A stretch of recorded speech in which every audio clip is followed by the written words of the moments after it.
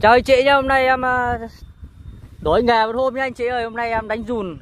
Đây anh chị có thể là xem xem cọc rồi của em là rất nhiều cọc và run cũng rất nhiều luôn, run to luôn nha anh chị ơi.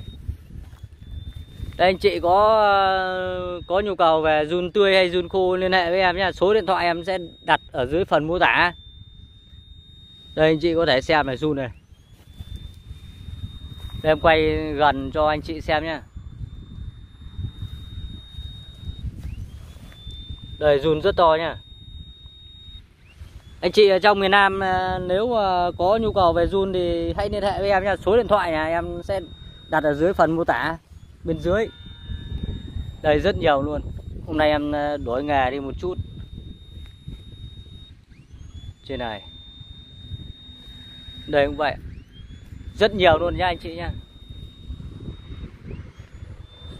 chuyển vào trong đấy thì run khô nha anh chị ơi. Run tươi thì khả năng là, là em sợ là xa quá không không chuyển vào được ạ.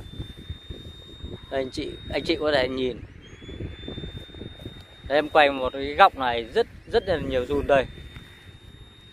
Rất nhiều luôn xào em rất nhiều. Đây run rất to.